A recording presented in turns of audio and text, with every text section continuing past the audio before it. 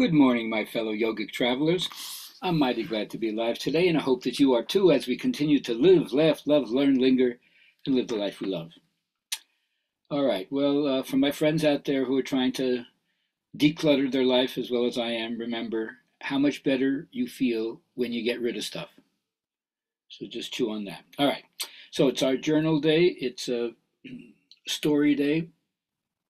Oh, yes, I love this little Hindu story. You could tell it to a sixth grader and they understand.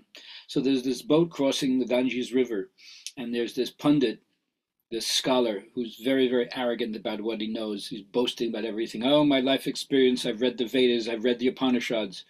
And he turns to the boatman who's taking him over and says, So, sir, have you read any of the Holy Scriptures, the Bhagavad Gita, the Hatha Yoga Pradipika?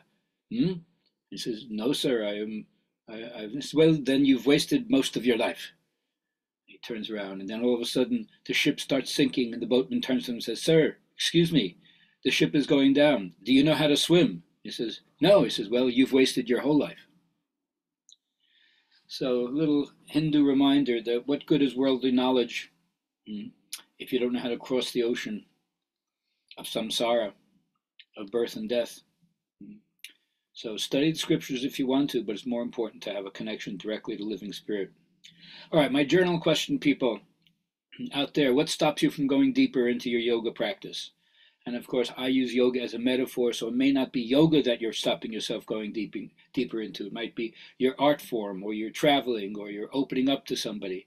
Whatever it is that stops you from going deeper into that, right? Uh, chew on that and let me know what that is. I'd love to discuss it with you and tell you about myself as well. All right, BKS Iyengar. First thing I like to do is honor the yoga master, and he's always reminding you your body is your capital, but for most people it's unutilized. So remember, when you're in life, your exhalation is what's going to de stress you. Your exhalation makes your brain hypotense. Most of us are walking on hypertense, so just think about when you see the person, let's say on the on the basketball line, when he's about to take a foul shot, what's the first thing they do? Take a deep exhale. So let it out. Don't keep it in.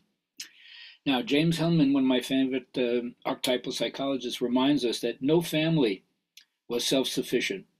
No family had to carry the burden of relationship just by the nuclear family. Uh, we've lost a lot of contact with the whole idea of it takes a village you got to spread out the responsibility. And very uh, Western psychology kind of assumes that the behavioral or personality problems that we have almost always stem from early childhood. And yes, some of them do, but no other culture puts such influ- influ- uh, influence on the child state.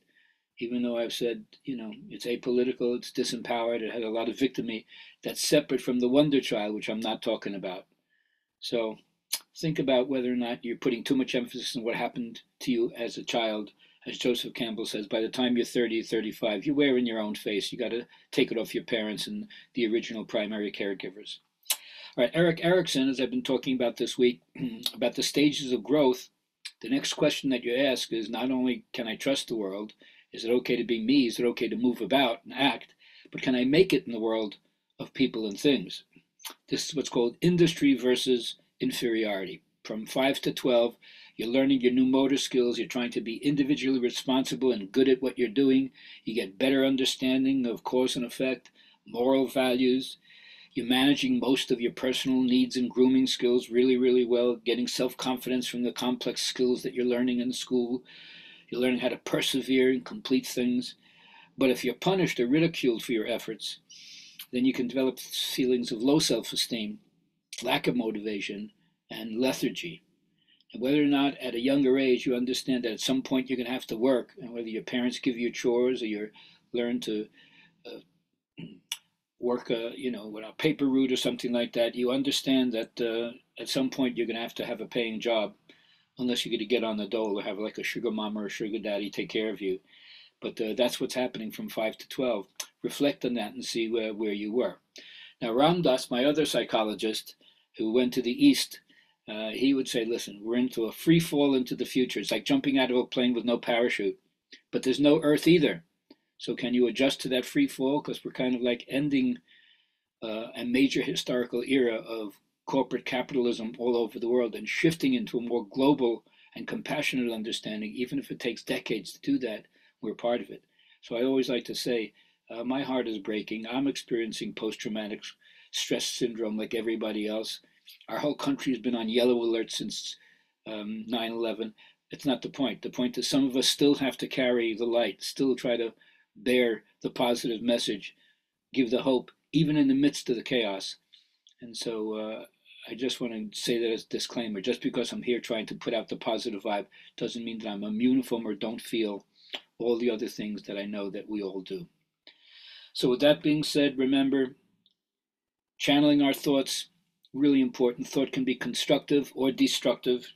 It's the misuse of it which most people don't understand. When it can be used for good, most people don't understand how they're hypnotizing themselves. So, to all you out there, stay young in the spirit.